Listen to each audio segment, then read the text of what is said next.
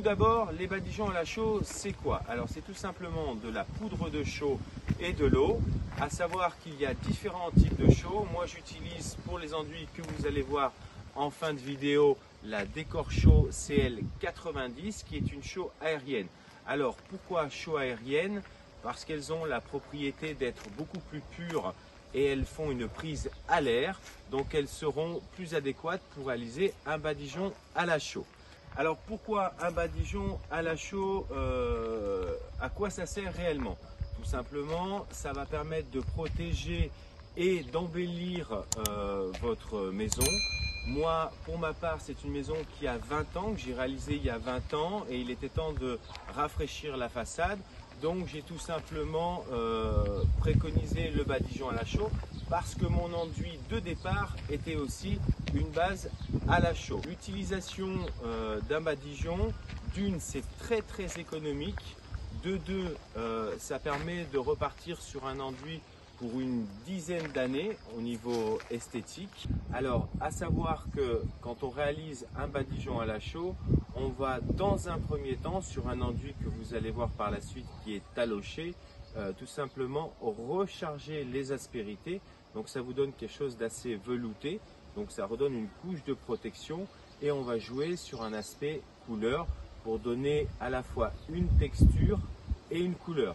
Bien entendu, euh, sur cette construction, j'ai utilisé deux techniques. Donc la première technique a été un, enduit badigeon assez épais, ce qu'on appelle un enduit stuqué, euh, que je ne vous expliquerai pas dans cette vidéo parce que c'est encore une autre technique. Là, on va parler principalement des badigeons à la chaux. Donc sur quel support utiliser un badigeon à la chaux? Donc je vous recommanderais toujours d'utiliser le badigeon à la chaux sur un support identique à la chaux qui a une certaine porosité et qui respire. C'est vrai qu'on peut le pratiquer sur un enduit au ciment, mais on utilisera une technique plus fresco-fresco.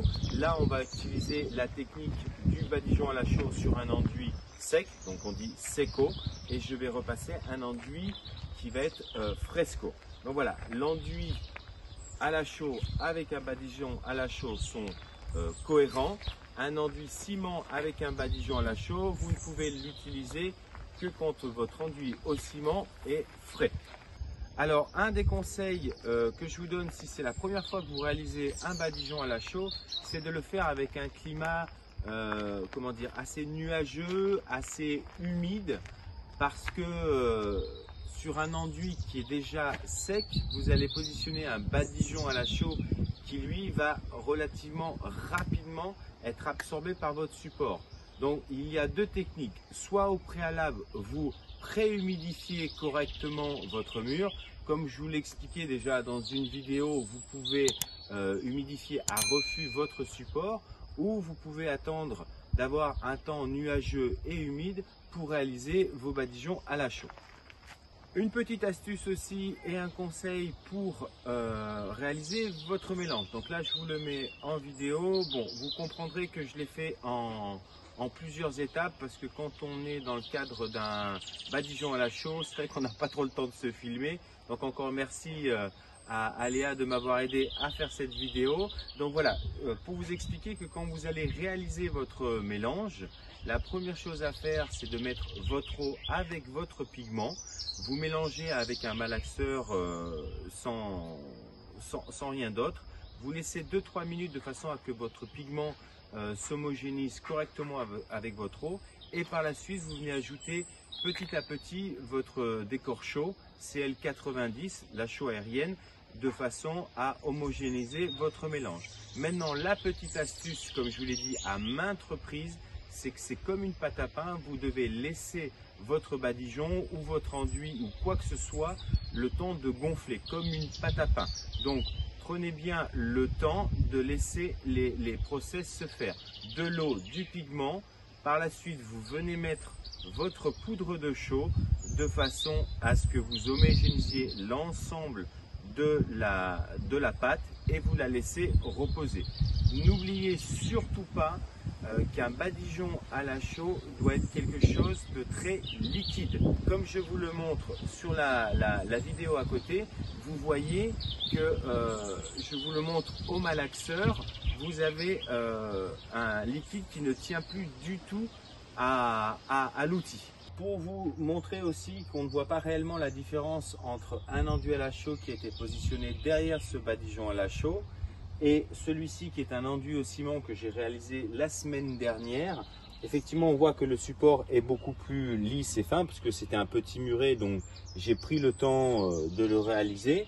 Euh, de, cette esthétique-là, on va dire de cette texture-là. Mais sachez que vous pouvez aussi réaliser un badigeon à la chaux sur un enduit à la chaux seco ou fresco et vous pouvez effectivement réaliser un badigeon à la chaux sur un enduit ciment que vous venez de réaliser dans la journée. Le lendemain maximum, vous pouvez pratiquer un badigeon à la chaux car on considérera que le support est fresco et vous allez mettre un badigeon à la chaux fresco par-dessus. Donc les deux vont s'homogénéiser. Donc c'est tout à fait possible de réaliser un badigeon à la chaux sur un enduit ciment.